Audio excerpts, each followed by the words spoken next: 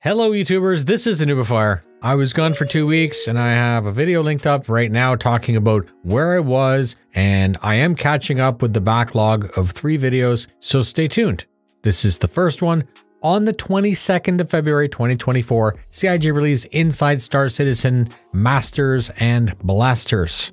Here's what you need to know. Jared was back with another updated update. Master modes. We've been hearing about this for well over a year. We were told about it in greater detail at CitizenCon. We were able to test it briefly and we're about to have it live in 323. Gimbals, targeting, power, shields. They all work together and they're basically broken down into two modes, fight or flight. Yogi said that Master Modes is all about making ship combat exciting and depending on your opinion, you either agree or disagree with that statement. I haven't encountered anyone who loves it. I have encountered many people who think it's fine, and I've encountered some people who hate it.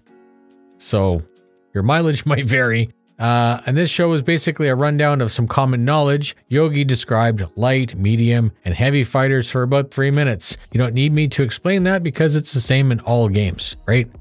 But all ships in a certain category will fall into these three, but then there are subcategories such as interceptor, racer, gunboat, corvette, frigates, bombers, torpedo bombers. These are all guides or stovepipes, and he used the example of a Sabre who has light fighter ability but also have medium weapons, right? So there's some variances there. Master modes will slow fighting and reduce fighting ranges cripple individual components one at a time with friends to take down larger ships. Uh, they said that uh, different guns have different DPS and they are also based on ammo or heat as limitations. The fixed weapon gimbal one down rule that was used for the past eight years is gone. They tested it and they decided no more. If you have a size 3 gun, you have a size 3 gimbal, and effectively fixed gun bonus is gone. You can lock gimbal still, but you don't get the size bonus like before. Some turrets also mount gimbals, which is cool and that totally makes sense.